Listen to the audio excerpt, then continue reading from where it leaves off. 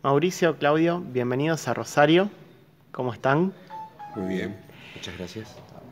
Qué, qué, qué linda obra que llega a Rosario. ¿Cómo, cómo surge este terrenal? Eh, bueno, como, como, como, como, surgen siempre este, la, los productos artísticos del azar, ¿no? Uno, uno nunca sabe, uno no, no, no, tiene dominio alguno sobre las ideas. Digo, la, la, eh, las obras no se nos ocurren, las obras ocurren, son algo que sucede. Eh, en, términos de, texto, alguna vez mirando unas imágenes de dos hermanos, imaginé este, a, una, a una pareja fraternal que habitaba un mismo terreno y que no se hablaban. Me parecía este, eh, patética la situación de dos hermanos que no se hablan y dividen un terreno como si fuesen grandes hacendados y tienen 400 metros cuadrados en un loteo trucho.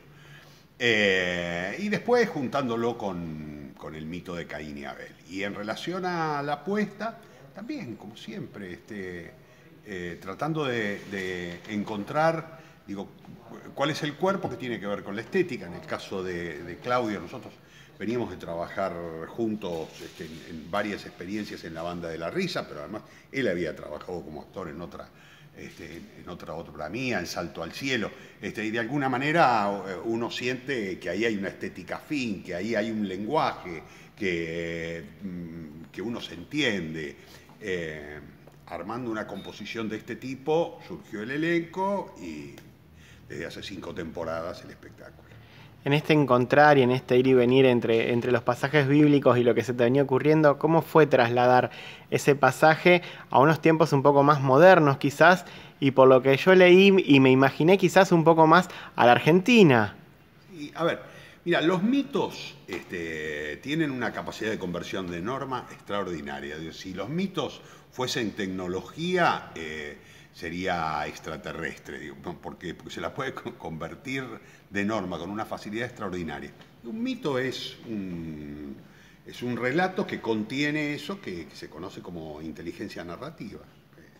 Este, un relato que encierra eh, una idea, que, encierra una metáfora, que encierra un, un saber. Entonces adaptarlo es, es, sencillísimo, porque en tanto uno le respete la esencia, lo único, lo único que, que, pide en términos de respeto, lo demás simplemente es, es, trasladado, es cambiado, es pasado para otro lado y funciona. Esto es lo que hice ayer.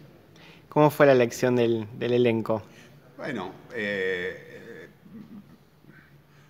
me da la sensación que viendo el resultado de, estas cinco temporadas y, viendo la unidad en la que se ha sostenido, digo, como, siempre, parece una elección afortunada. Cambiamos al principio, al año y medio estaba Claudio Ricci allí, que por este, compromisos este, profesionales se, se fue del espectáculo y llegó Rafael Brusa, que es el aporte santafesino, la pata santafesina, este, el, el, talento santafesino que incorporamos y, y se mantiene en estado de unidad, por lo tanto, me da la sensación que fue una elección afortunada en la composición de los personajes, ¿cómo venimos? Bien. Mirá, la composición de los personajes eh, siempre es difícil, siempre es un, es un camino tortuoso que hay que, que hay que, transitar. Uno sabe que es así, eh, que siempre es así, si la búsqueda es lo suficientemente profunda, ¿no? Eh, entonces uno sabe que va, que va a atravesar este, la, la, tormenta, pero también sabe que en algún momento de la mano de, de la dirección un poco, de, de, alguna otra cosa que siempre se, se, cruza azarosamente, como decía Mauricio, por el camino, también el azar en, la, en, la, en, la, en el trabajo actoral también este, es, muy importante, va muy importante. Digo, uno siempre está atento a, a, qué puede coincidir con lo que uno está buscando. Entonces, este, la lectura de lo cotidiano eh, cambia completamente. Yo siempre cuento... Eh, eh, fue a, a, ver, lo, los tres, los tres personajes fueron muy difíciles. Y no encontraba, yo no encontraba el, el, punto de, contacto, el punto de, de, largada, como para empezar a, trabajar y disfrutar. Y, no lo encontraba y pasaba el tiempo, pasaba el tiempo, hasta que me di cuenta un día, eh, estaba haciendo fiaca, mirando televisión, eh y dije, acá, esto, este es, es, Abel. Y fue una cosa completamente, digo, no necesariamente tiene lógica, tiene que funcionar para uno, ¿verdad?